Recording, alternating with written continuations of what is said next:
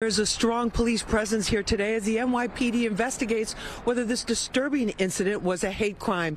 Now, Jewish residents in this diverse community are shaken, especially since this comes amid a sharp rise in anti-Semitic incidents citywide. Police tell us about 4:30 p.m. Sunday outside the Island Kosher Market on Victory Boulevard in Staten Island, a 32-year-old Jewish man and his 7-year-old son were on the sidewalk, both wearing yarmulkes.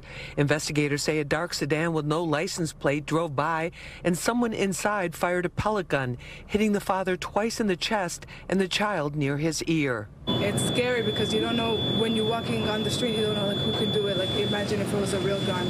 I think it's very sad what happened to this father and son. Other shoppers here were surprised that an incident like this could happen here. But the NYPD tells us anti-Semitic incidents for the month of November citywide were up 125% over November 2021. To be honest with you, it's just uh, very scary. You know, this is a very peaceful neighborhood overall. Um, everyone is got very friendly Italian neighbors and black neighbors and Chinese neighbors and everybody, and we all get along great. The all-volunteer Staten Island Shmira Emergency Services team posted this wanted flyer asking for information.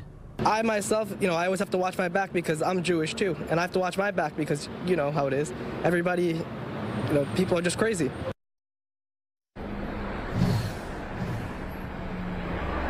Now, the father and son were not seriously injured and refused medical attention, according to authorities. Now, the NYPD is asking anyone with information to give them a call at 1 800 577 TIPS. You do not have to give your name. We're live in Staten Island. I'm Lisa Evers, Fox 5 News.